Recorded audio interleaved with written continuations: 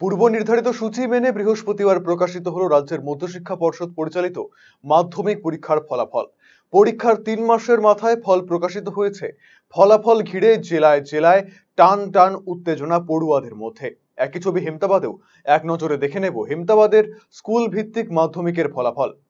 হেমতাবাদ দুধুন্ডা অলোক তীর্থ বিদ্যাপীঠ মোট পরীক্ষার্থী একশো উনষাট, পাশ করেছে একশো সর্বোচ্চ নম্বর ছশো সত্তর পেয়েছেন Jarjis Alam. Hemtabad Dehuchi high school. মোট পরীক্ষার্থী চুরাশি, পাশ করেছে তেষট্টি। সর্বোচ্চ নম্বর পাঁচশো চৌষট্টি পেয়েছেন লক্ষ্মী রায়। হেমতাবাদ আদর্শ বিদ্যালয় মোট পরীক্ষার্থী তিনশো আটত্রিশ, পাশ করেছে তিনশো এক। সর্বোচ্চ নম্বর ছশো সতেরো পেয়েছেন সোনিয়া পারভিন। হেমতাবাদ বাঙালবাড়ি হাই স্কুল, মোট পরীক্ষার্থী দুশো একত্রিশ, পাশ করেছে একশো নব্বই। সর্বোচ্চ নম্বর ছশো তেতাল্লিশ পেয়েছেন মোহাম্মদ সাহান হক। Hemtabad Baharail high school. মোট পরীক্ষার্থী দুশো বারো, পাশ করেছে একশো উনসত্তর সর্বোচ্চ নম্বর পাঁচশো সাতানব্বই পেয়েছেন রিনা পারভিন।